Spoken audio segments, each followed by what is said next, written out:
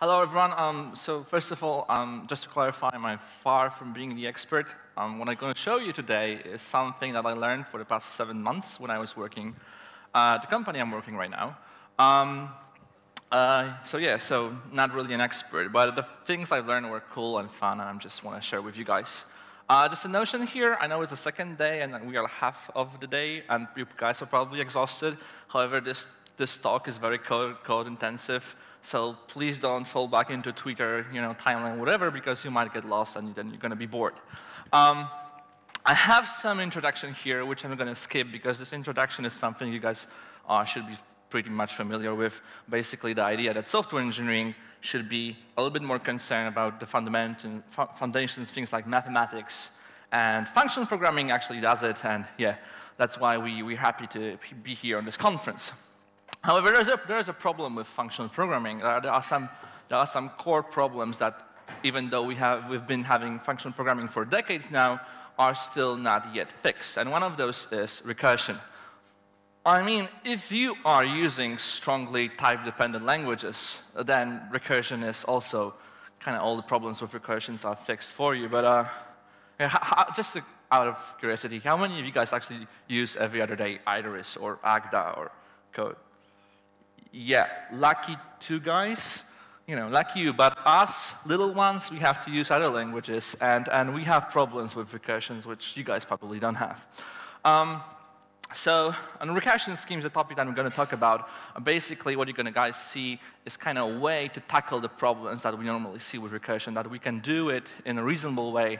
And out of those recursion schemes, which are kind of kind of composable combinators, um, emerge patterns which are just tremendous. And I'm hopefully, hopefully in the 45 minutes that I have, will be able to show you guys that. However, to actually show the cool stuff, I need to first introduce you guys to the fundamentals. So just please, you know, put your seatbelts and just bear with me.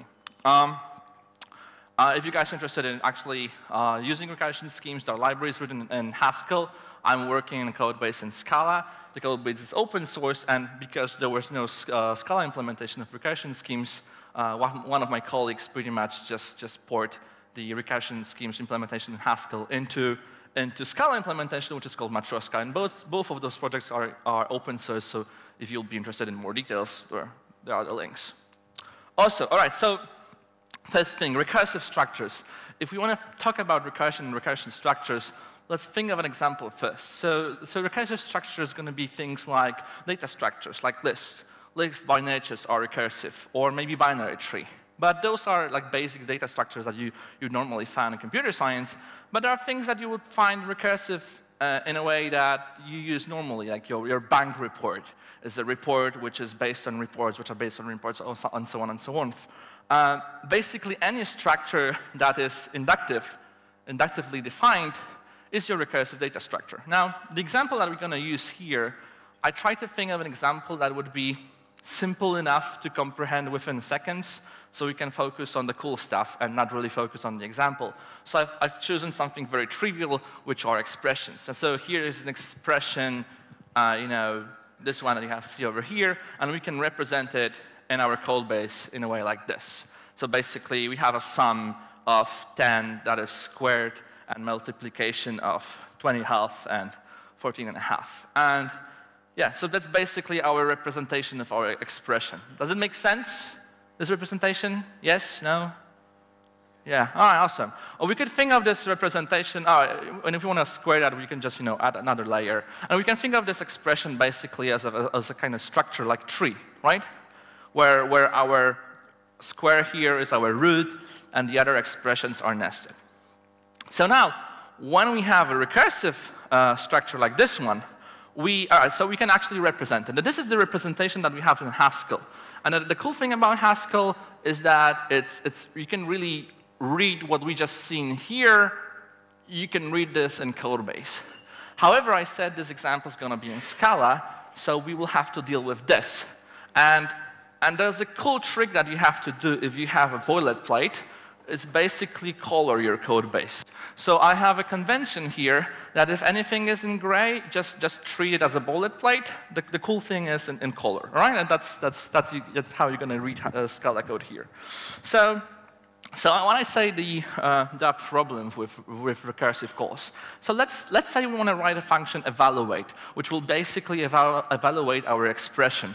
Uh, if we look at, if we think about this um, body as this method is just straightforward. For every uh, case in our ADT, we provide uh, a value. If it's a leaf, and I'm saying a leaf, basically a value, either an integer or, or decimal value, we just return that value. If it's something else, like for example, summing two things together, well, before we actually sum those things together, we first explicitly have to call recursively our function to those two expressions, xp1 and xp2, right? Uh, so we're kind of doing our, we're doing two things here. We're doing our business logic, which is evaluating the expression, but also our code base is responsible for pushing the recursion forwards down to the recursive structure until, until it reaches the leaves, and then it can traverse back to give us the final result. That might not look like a bad idea. I mean, it's a little bit of noise, but we can survive, right? The problem is that if you look at your other implementations, so for example, make string, which takes an expression and gives you a string, it kind of looks similar right? For leaves, it has to give you a value uh, of those leaves. If, if it's actually doing something, it, it, before it actually will do it, in this example, before it will give you a string, it has to first pass the call to a, a recursive call to our function. So the, the, we see that there's a, there's a pattern that emerges here. However, that's still not an issue. The issue might be something like a function optimized. So let's say we want to have a function optimized that takes an expression and gives us an expression as a result. The difference is, is that if we see a multiplication where we multiply two things which are equal, we'll just say it's a square of one of those things. And it matters because if you have an expression then which then you evaluate, it will be just faster to evaluate, just take that one expression, evaluate it, and you know, make it square, than evaluate the left branch, evaluate the right branch. They are exactly the same thing, and then, then multiply them together. So if you look at this example here, the, the, this line over here that we, we took from expression to expression, and we have this case about multiply.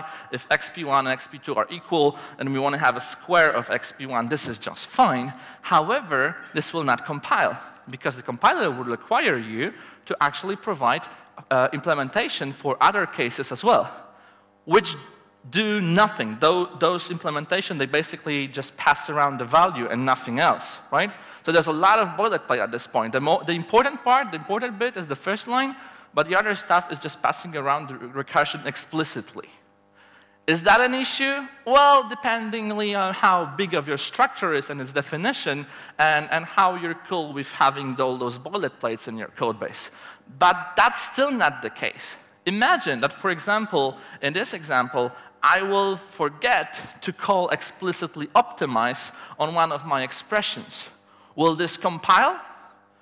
Yes, it will compile because multiply expects on the left-hand side expression. The compiler will be, you know, happy. But we will get the wrong result. More importantly, if I call optimize on my leaves, if I call recursive call on my leaves as well, will this compile? Yes. Will it terminate? No. So that's the kind of issue here. That recursion, recursion in our code base, even if you do stuff in Haskell, you're kind of doomed with those things as well. And if we really look at this example, all our code base is doing is basically traversing our structure until it reaches the leaves.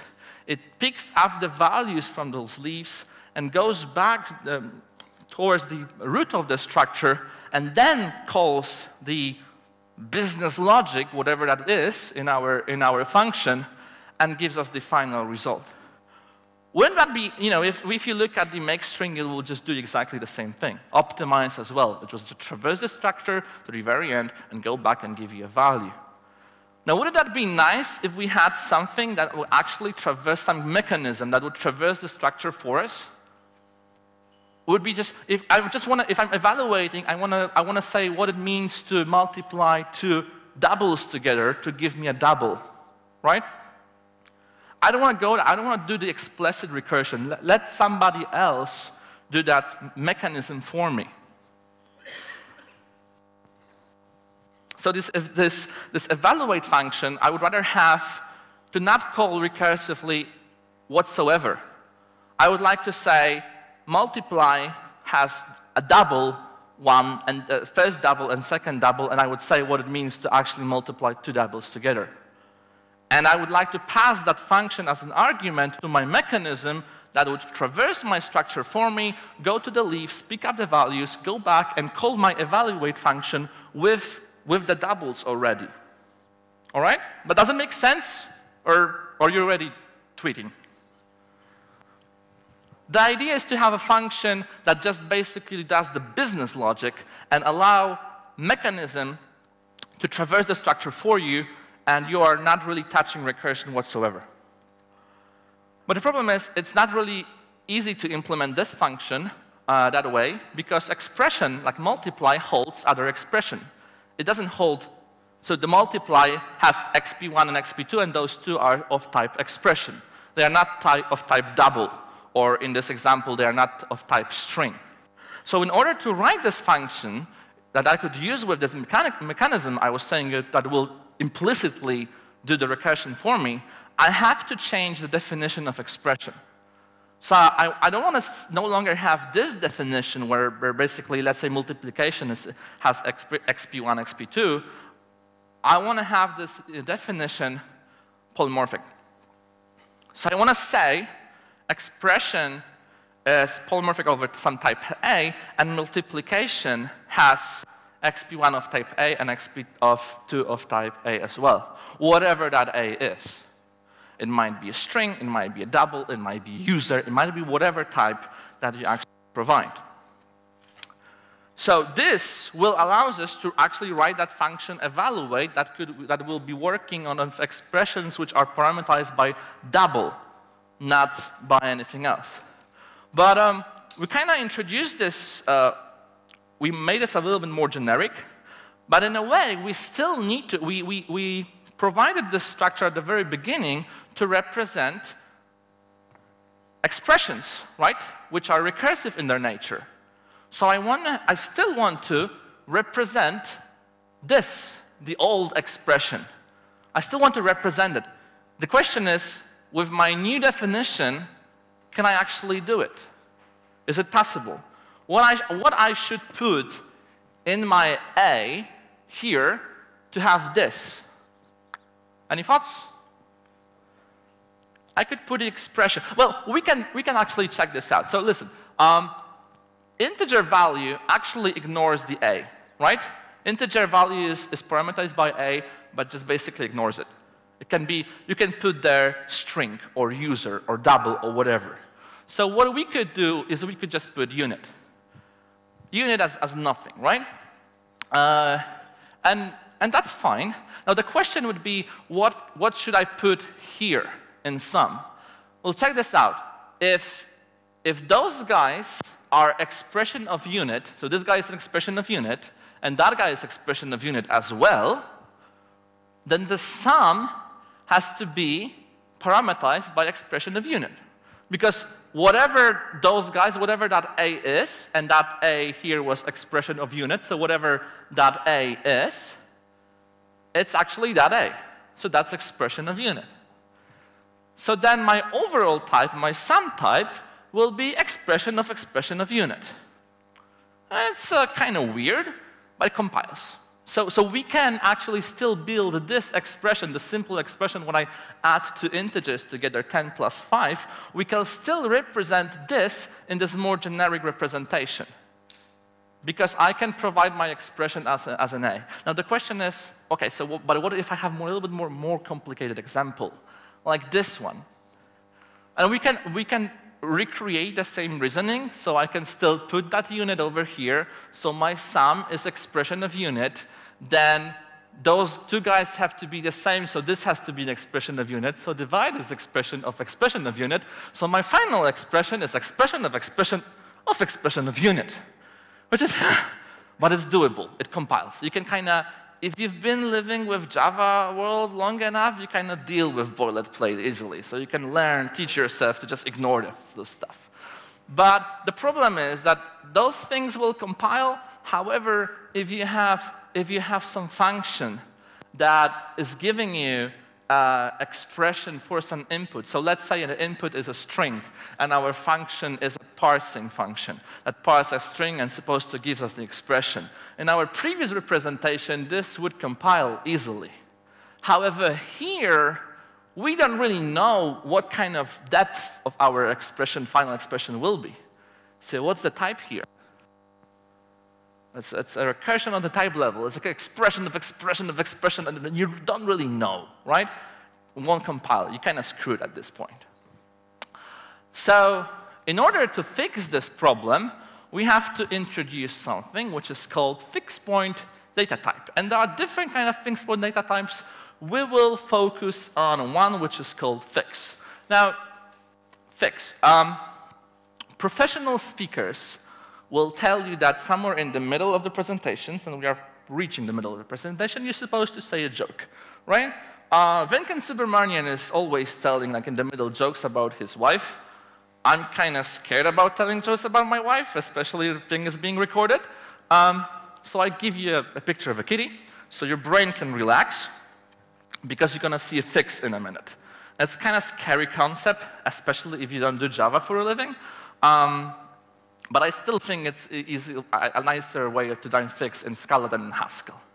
But don't worry, fix isn't really that bad. It's just, you just have to brace yourself, you know? Brace yourself, fix is coming. That, that would be a good meme here, right? Uh, anyway, so this is fix.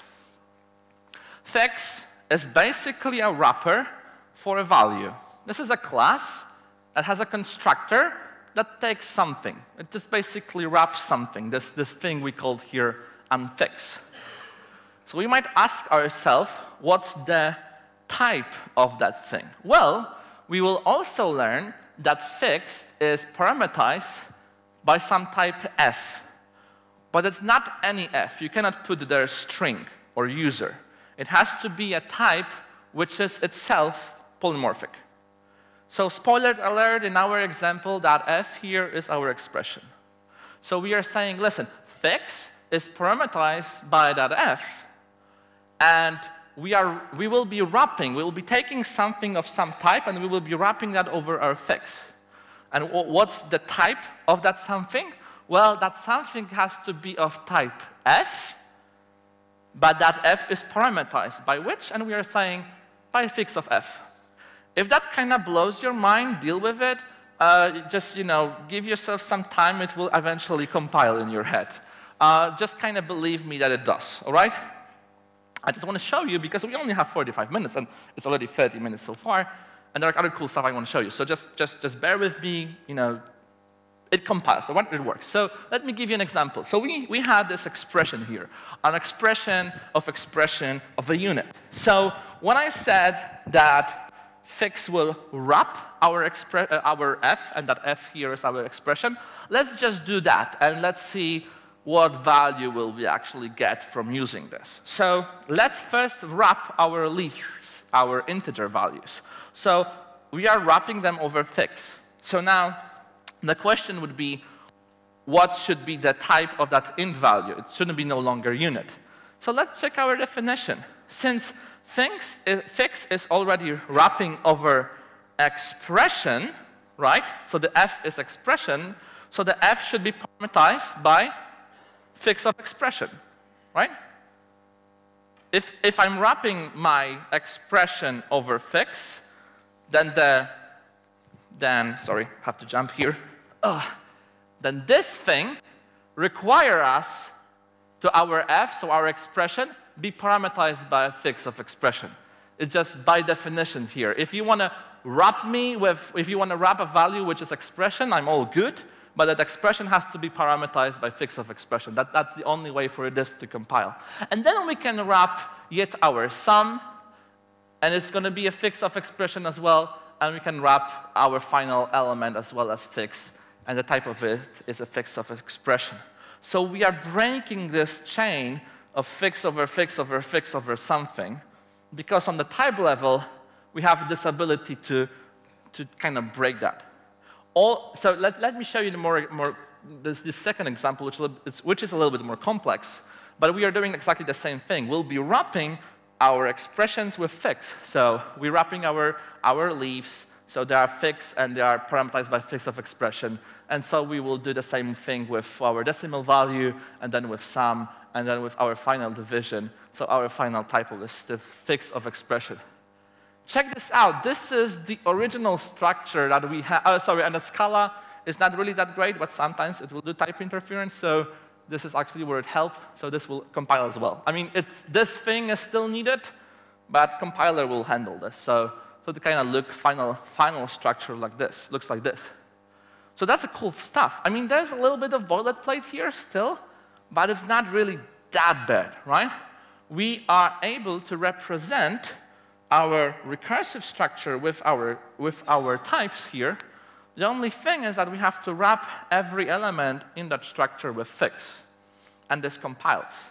And the cool thing is, is now that when you have that function, the last one that, that we didn't really know what kind of level of recursive calls we're going to have in our structure, you can just say, this is type of fixed expression. Now, somebody might ask right now, okay, this is fine, but we don't really want to work with fix of expression. We need an expression. It's a question for you guys. How do I get expression from fix of expression? I call unfix. Yeah, I call unfix and it works. Exactly. So just a reminder here. So we kind of what we did right now is what government's been doing for decades. So basically, we introduced a problem and then we found a solution for it. Um, but uh, just a reminder here, we did that, we had a purpose at the very beginning. The idea was to represent this evaluate function or whatever function in a way that we will be able to say evaluate works on expression of doubles and gives us double. So we will no longer have recursive calls within our function that will be provided. Somebody else will do the recursion implicitly for us, and we just provide the business logic. So we're almost done. Um, we have a fix, we can represent our structure, and we need this mechanism, which is called catamorphism. And if you think catamorphism has some fancy connection to math, it really isn't. It's just Erik Meijer probably, you know, having fun with their friends, having beer, and just thought of different names. Catamorphism is basically fold, fold R. And in the paper, they are telling you, so basically they first introduced you to the catamorphism, and once your head is, you know, overwhelmed with all the category theory, they're just gonna be like, oh, it's actually fold R if you're using functional programming. I'm like, holy shit, well, thank you, you're telling me that right now, uh, that would actually be a good metaphor from the very beginning. But if you need to build some mental model here, catamorphism is nothing else than fold R, just defined very generic for any data structure that you have. So so if, for example, if you have lists, in that paper they start with lists as an example. Lists are cool because you already know how the structure looks like. You have nil, you have cons, you're fine, you can do fold R. Even if you don't have a function fold R, you can implement fold R on your own. The question would be, how can I fold, how can I call catamorphism on whatever structure that I, that I have? And the idea here in recursion schemes is that if you provide function, functor for your structure, you should be fine. So now the question is, who doesn't know what a functor is at this conference? Okay. Um, um, in four minutes, one-on-one, okay? Uh, all right. So functor, uh, the thing of a functor, especially implemented in Scala. So in func functor is a type class. Um, the idea behind type class is that you provide additional set of features within your type. So you're saying you're giving your type this ability. Listen, you can be a member of my, my, of my club. You can, you type, you, you can be a member of my club as long as you implement this set of features and they will obey this set of laws. And if you do that, we good. All right? So the idea here with functor is that if any other type f wants to be a member of a functor type class, uh, he or she has to implement one single method, which is called map. And the idea is that if I have some f of a, and I have a function that goes from A to B, this map will give me f of b. In our example, if I have an expression of, let's say, integer, and I have a function from integer to string, this will give me an expression of string. Does that make sense? And uh, so, so in Scala, so in Scala, uh, type classes aren't uh, level, a, they are not defined on the, type, on the level language, on language level, sorry, on language level. They kind of build uh, as a thing using some other concept from the language. Uh, the idea is, well, pretty much simple. I'll just have to skip through some of the slides here. Um, but if, I, if I'm saying I have some function, um, let's say I have some function foo that takes some a uh, it's, parameterized by some uh, a and some t, and I might have my a of t, and I have some function from t to integer, and I want to have this a of integer. I cannot really implement this. I don't have enough knowledge about what a is and what t is to implement that. However, if I say there is an instance of a functor for my type, type a, then I already know enough, because now I can call that map function and this will just work. And the way you provide the, the, the, instance is you just basically, and at least in Scala, you provide instance of that, of that trait. If you're just from Java world trait interface, basically the same thing. You just provide that, that, that uh, instance of that trait and it kind of works. So, as I said, only four minutes. Uh, we did that in two. Uh, whoever is lost, sorry. Um, but this maybe it will be kind of easier to understand. This is our expression, and now we need to we, we want to make expression the member of the functor fun club, right? We need to have an instance of a functor for our expression.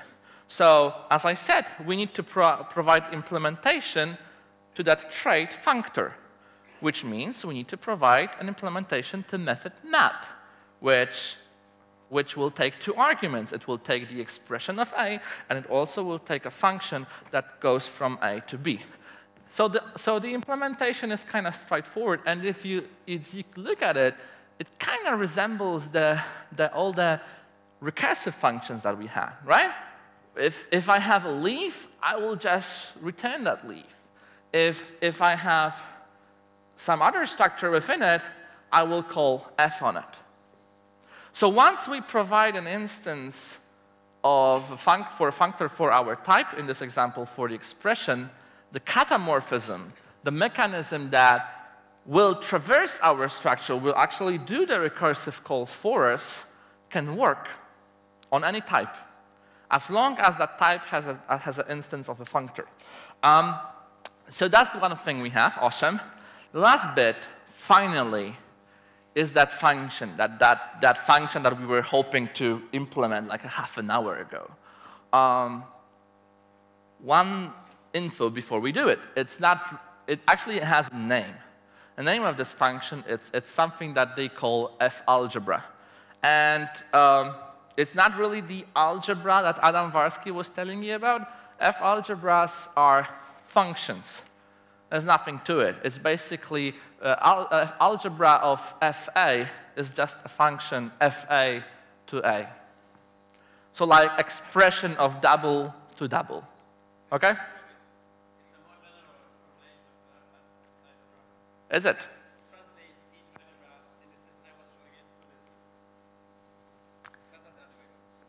So as I was saying, I'm not an expert. Um, you guys know this joke about this old mathematical professor? He was like 70 or something, and he was doing those different talks in different universities and states. And he was so tired of it. And he was always driving with his driver. And like one day they're driving from one university to another, and the, the driver sees this math professor is like really, really exhausted. So he's telling like, listen, boys, I've seen your talk like 100 times. I, can, I don't understand it but I can basically do it from the memory. You know, you just sit back and I will do it for you. So that's what they did. And the driver is actually in the middle of the, of the presentation, and some student in the middle of the seat is like asking a very, very hard question. Excuse me, I have a question. So the driver is like, oh, this, this question is so trivial, I will ask somebody from the end of the hall to answer it. So the algebras are so trivial, I will just you know, let Adam answer it. Um, but anyway, we need to provide this. And, and that's basically what we're doing here.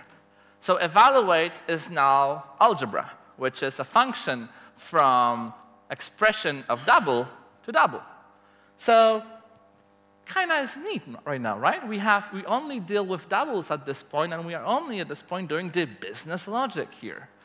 So, uh, and, the same, same thing goes for our make string as well. So let's see this an example. So I have this algebra to evaluate that doesn't do the recursion because recursion will be done for me. I'm just concentrating on the business logic here.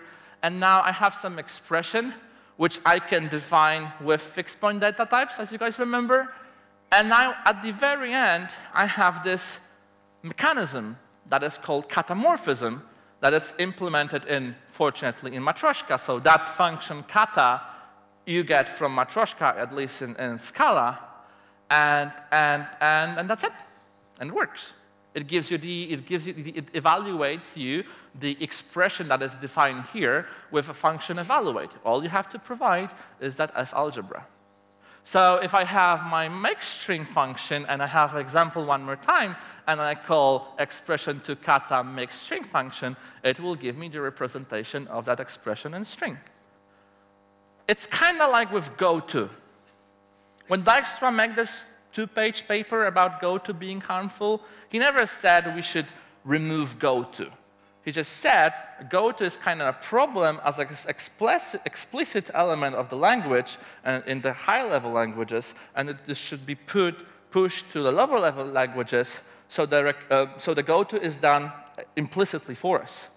We never use goto, right? We have for loops, while loops, or whatever. We kind of think of the more, more abstract concept, But if you look underneath your assembly language, whatever that is, bytecode or whatever, goto is still there. And the idea here is about recursion schemes as something similar, but for recursions. But that's just the tip of the iceberg, and we have 12 minutes to actually show you the rest, rest a little bit more of the iceberg. Are you guys interested, or, or, or Twitter? We good? All right, awesome. Great. Um, so you remember this example of Optimize? Where I had this bunch of boilerplate, and also I could pro provide a lot of errors because I could call optimize on my leaves, or I could, I could forget the optimize, and this thing would either not terminate or would not work correctly for some of the, some of the input. Uh, if I define optimize in terms of algebra, where I'm saying this is basically a function from express expression to a fix of expression, this kind of shortened to, to this definition, where I only have my, my real constant, which is the case where we have a multiplication of two elements, and those elements are equal, then we just optimize it to square, and the other rest is just keep the rest, and that's it. And it, optimize here works, just believe me, it works. Now, catamorphism is easy to understand because basically it's fold R if you've been working with lists for, for some times, the, the chances that you've seen fold R is big. Um, but there are, there are other morphism, morphisms that were defined in the original paper, but they are, were also extended throughout the years. Um, we're not going to go through all of them because that would be like more additional talks, and I only know a few, not all. Um, but I want to show you something cool. Um, there's another morphism uh, which is called anamorphism. And anamorphism is basically unfold. Um, and unfold, the idea is about, about unfold is that when fold takes your structure and gives you a value, then unfold is something, it, it's, a, it's a dual of, of, that, of that thing. So it takes a value and gives you an expression. So if, for example, I have some integer and I want to see an expression that defines that integer in terms of multiplication, 2 multiplied by 2 by 2 by 2 by some odd number here.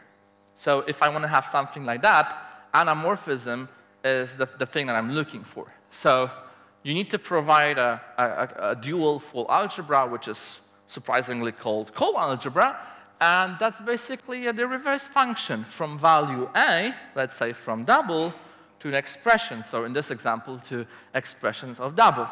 So I can, I can define my divisors function as a coalgebra saying if n is, uh, can be divided by 2 and is not 2, then we just returning multiply 2 and n divided by 2.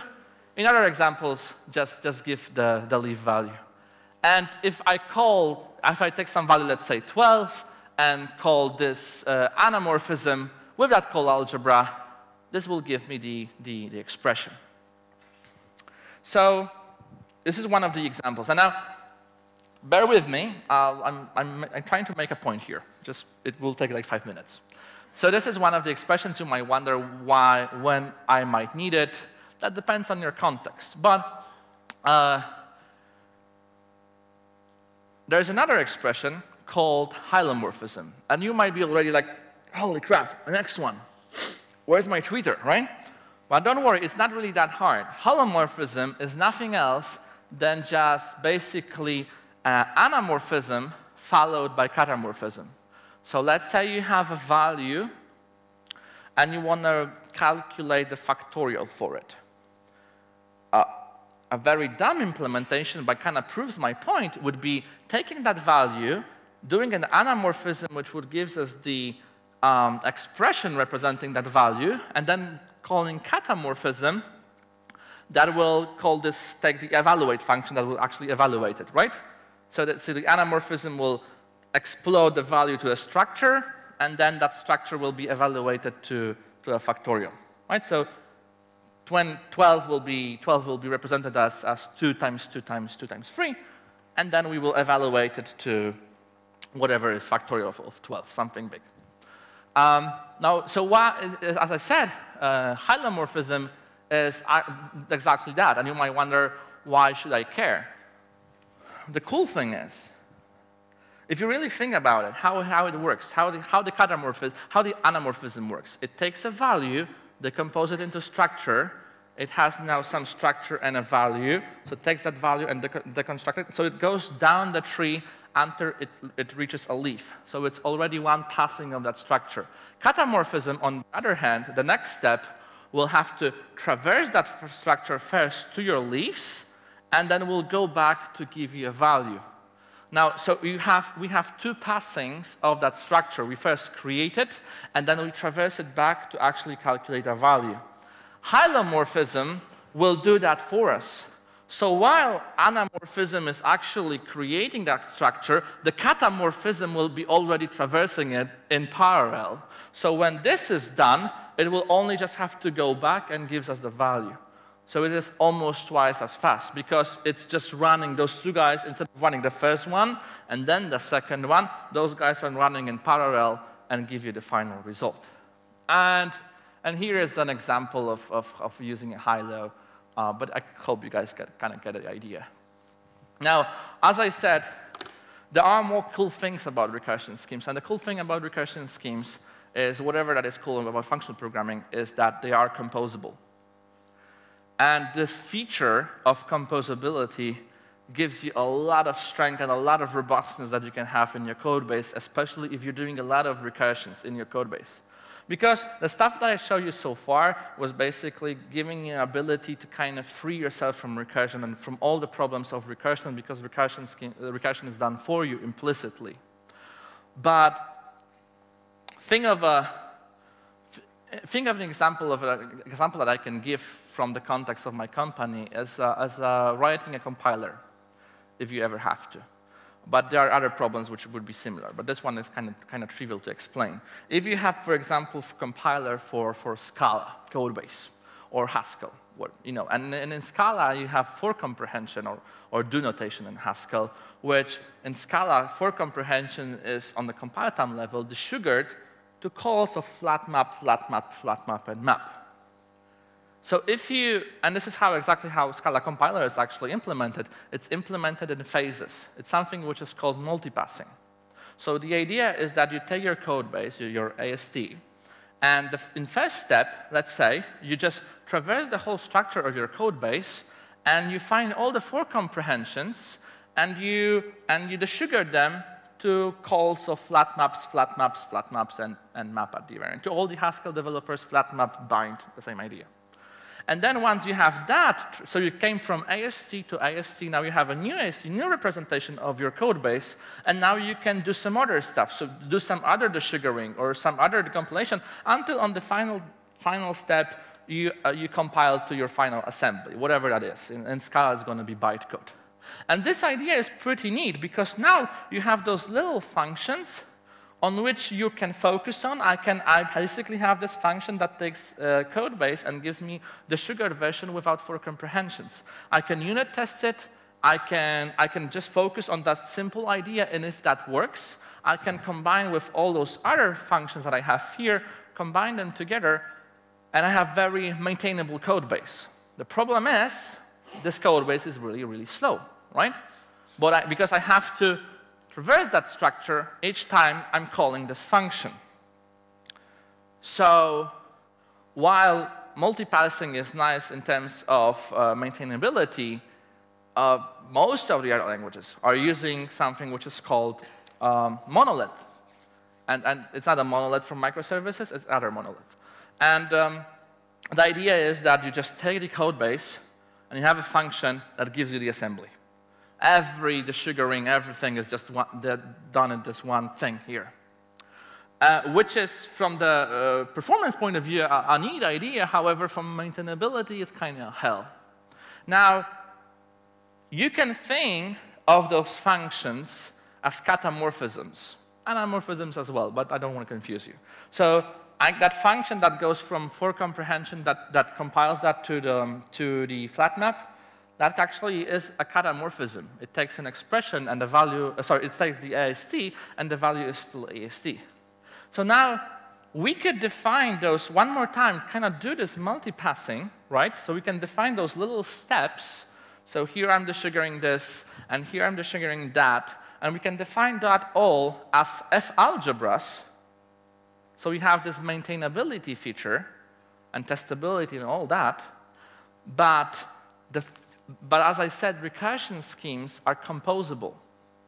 So the, the final function that you're going to get is just a, is, is just a F algebra composed with F algebra composed with F algebra. So the final thing that you run over your structure goes over that structure once. Do you get the kind of thing that we have here? We can focus, when we define those little things, we can focus only on the things that we are interested in like desugaring this or desugaring that. But on our production call, when we actually you know, call and we, we take a source code and we want to have assembly here, we will have a single run, which is something which is called nanopassing. And all those kind of cool features that, and neat features that you would normally get when you do functional programming because you have composability in your code base, think about, about all that that you normally get from your type system, think that you can have it for recursions as well. And this is actually a very good idea if you guys are interested, um, Matryoshka, uh, sorry, um, Quasar, uh, we have something, we basically comp uh, we compile them from SQL to a logical plan, which represents SQL, which later on we compile down to some NoSQL databases, to some, some dedicated connectors to physical plan. And if you want to see that in action, if you want to see recursion schemes that will blow your mind, I'm just uh, encourage you guys to see um, Quasar uh, references some different papers that I read to actually make this talk and to actually understand what I'm doing at work, if you're interested. My name is Paweł Szulc. Uh, this is my Twitter if you want to complain, email as well, and uh, my blog. And I have two or three minutes to take questions if anyone is interested. Well, thank you.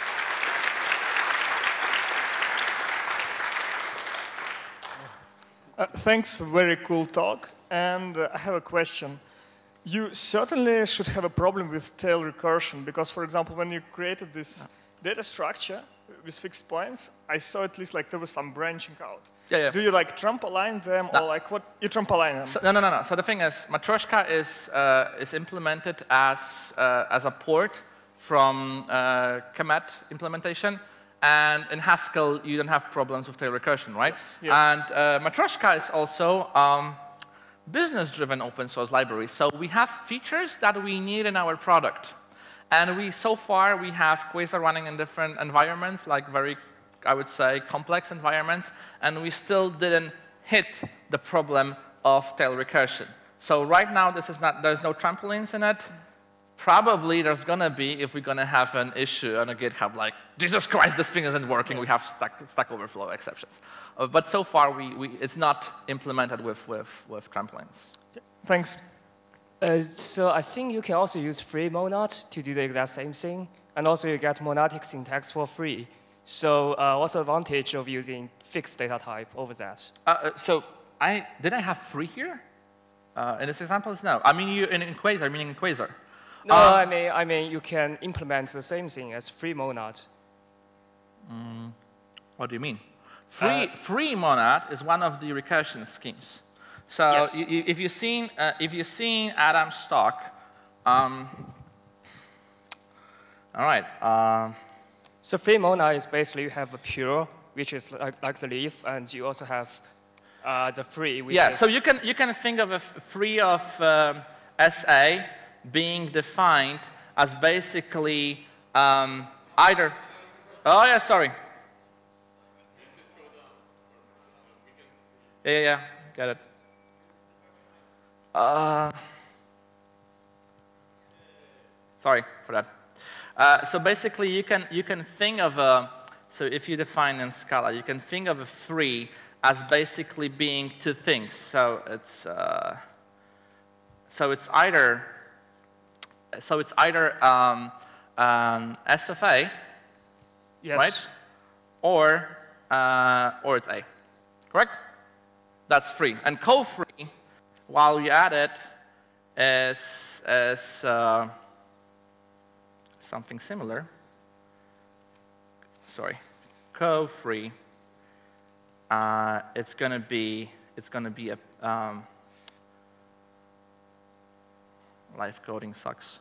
Um, it's going to be a pair of SI and I. Uh, sorry, I'm not. Uh, I'm not a Scala programmer, but I'm okay. Haskell, so the idea is so, so, so, the, the or here this this either type. If you, no, if no, no, no. So in so Haskell, so this is this those those are two types that you can treat. So we've been using fix as a fixed point data type that allows us to represent a recursive structure with a type that wasn't recursive by definition, right? Because expression yes. wasn't recursive. So and we used and we used fix to kind of go back to recursive structure. Sorry, so in, in Haskell at least, so free is defined as either you get a pure value, yeah. the other one is a functor over free That's itself. That's exactly what that is here. It's more, more even more simplified version of it. No, it's a functor over free itself. It's recursive. So the free, free monad is you either get a leaf or you get a tree, like, which is like a functor over the free. Yes. So by doing that, but it's still a type. It's still a type. It's still a type that you can use to represent a recursive structure. You can do that with free, and it gives you a, an, a, an ability to, because with, with co-free, you're no longer saying, I have an expression with, so, uh, with co-free, you can just label your elements of your recursive structure. So for example, in expression, you might say first level, second level, and that, that A is going to be your string or what integer. In free, you are saying it's either that recursive thing or some A or some yes. string. Yes. But it's still, it's still define a type that defines a recursive structure. Yes. And recursion schemes give you the mechanism to traverse that structure. Sure. Uh, my question, my original question was that that kind of type also give you a monadic syntax because it has a leaf. So you can implement your expression as a wrapper of free monad, and then you can uh, write your DST uh, okay. in that monad, monadic syntax. So you don't have to use fix, which you, you don't have, have to wrap to, and unwrap yourself. You don't have to use fix, you can. So I was just wondering if you've So you're gonna use, this. so for example, let's say an expression in our example you remember expression, which were, just to give you, um, before there were some other questions, and we, we were probably just going to jump to, and I can, I can talk about it uh, in a second if you want. But that expression, I don't know if I have it somewhere here still. Oh, crap. That ex, oh, there it is. That expression had some leaves, like, like integer value and decimal value, and then, and then some recursive structures, right? In a, in a way. Let's say expression only doesn't have those leaves There's no int value and there's no decimal value. Right? Let's imagine that int, int value and decimal value are defined as some types, but not in your ADT here. Let's say that ADT comes from some library and you have some other types that represent the leaves. Then you will not use fix. Then you will use free because you're going to have free of expression and let's say integer value. Because now you have a fixed, a free represents your fixed point data type, and you're saying I have either my structure, so my expression, or some leaf integer. And then that's when you, because free is recursive in its nature, it's basically fixed point data type, right? But you still need that mechanism that will traverse that data type, and that, that's what recursion schemes gives you. Thank you.